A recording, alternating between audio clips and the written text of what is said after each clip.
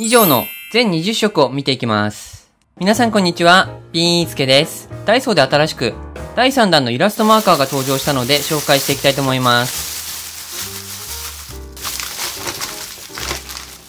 はい、並べるとこんな感じになっていまして、そして番号が連番となっていまして、イラストマーカーの横に数字が書いてあるんですが、32番から41番まで連番となっています。それでは全20色見ていきたいと思います。はじめにローズピンク、桜ピンク。33番がネオンピンク、ネオンイエロー。34、リーフグリーン、フォレストグリーン。35番、ライムグリーン、グラスグリーン。36番、シーブルー、セルリアンブルー。37番、スカイブルー、ロイヤルブルー。38番、アンティークブルー、リッチブラウン。39番、ポピーレッド、フューシャピンク。40番、フラミンゴピンク、パウダーピンク。41番、カスタードイエロー、レモンイエロー。以上の全20色を見ていきます。それではノートを使って書いていきたいと思います。イラストマーカーを一周させますと、こんな感じのデザインになっています。ペン先の太さがツインタイプとなっていまして、太い方が 7.0mm、細い方が 1.0mm となっています。はじめにローズピンク。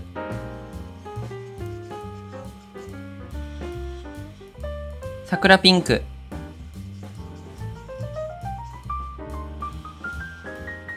ネオンピンク。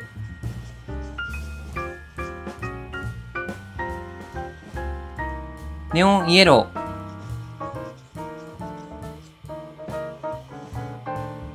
リーフグリーン。フォレストグリーン。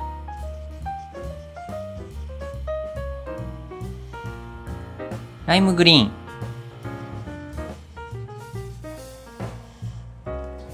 ラスグリーン。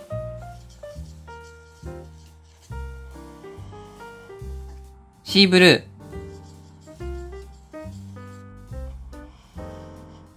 セルリアンブルー。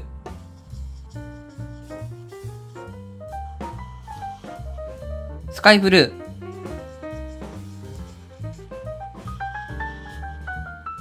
ロイヤルブルー。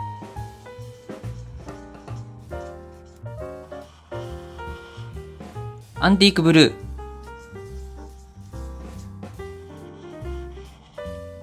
リッチブラウン。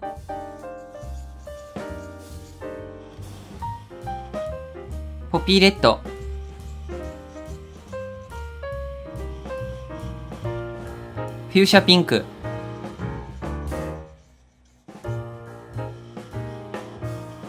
フラミンゴピンク。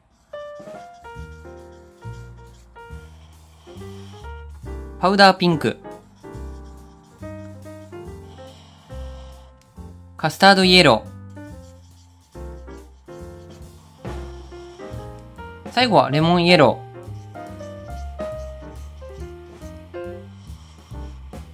ー。はい、ということで、こんな感じで書くことができました。こちらをスクショなどをしていただければと思います。順番に色を見ていきます。32番から始まりまして、37番。ということで、こんな感じになっています。今回はですね、ブルー系が少し多い印象です。ちなみにこの中で好きな色を選ぶとしますと、35番のライムグリーン、グラスグリーンの組み合わせが好きです。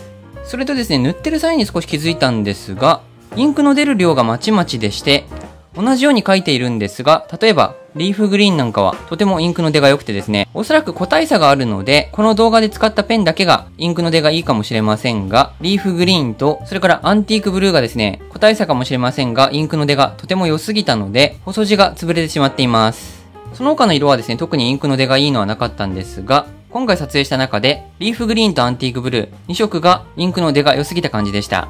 ちなみに、こちらの順番通りにペンを並べますと、こんな感じになります。デザインが四角形になっていますので、置いてもとても安定感があります。ちなみにアルコールマーカーですので、裏抜けするのは当たり前なんですが、裏抜けがですね、1枚目、2枚目、3枚目まで抜けてしまっています。それ以降は大丈夫な感じですね。はい、ということでこの動画は以上になります。ダイソーでイラストマーカーの第3弾が登場しましたので、全色レビューしてみたんですが、割とですね、王道な色が多くて、今回はブルー系が多い印象でした。もし興味がある方はお近くのダイソーで探してみてください。それではこの動画は以上になります。ご視聴ありがとうございました。